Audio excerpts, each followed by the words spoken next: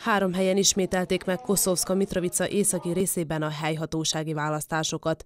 A koszovói rendőrség, az Európai Unió jogi és igazságügyi missziója és a Koszovóban tevékenykedő a NATO parancsnoksága alatt működő nemzetközi békefenntartó haderő megerősítette a biztonsági intézkedéseket a választások idején, hogy a szavazás békésen és rendben folyjon le. Ja sigurnosne snage, tu Kosovska policija i Uleksi Kejfor, ali je bitno sve moguće rizike svesti na minimum i naša preporuka ostaje da se brojanje glasova vrši u Centralnoj izbornoj komisiji, to jest u Centru za prebrojavanje glasova u Prištini. A szavazóhelyiségek időben reggel hétkor nyíltak meg. A voksolás a legnagyobb rendben zajlott le, és a részvételi arány is sokkal magasabb volt, mint két héttel ezelőtt. Odziv je veoma dobar, mnogo neuporedivo bolji nego pre dve nedelje, što nije, nije nešto što previše iznenađuje.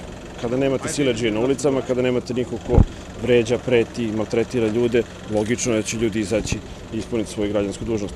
Ovo je način da Srbi preuzme svoju sudbinu svoje ruke. A szavazásra jogosult 23 ezer polgár 5 polgármester jelölt közül választhatott.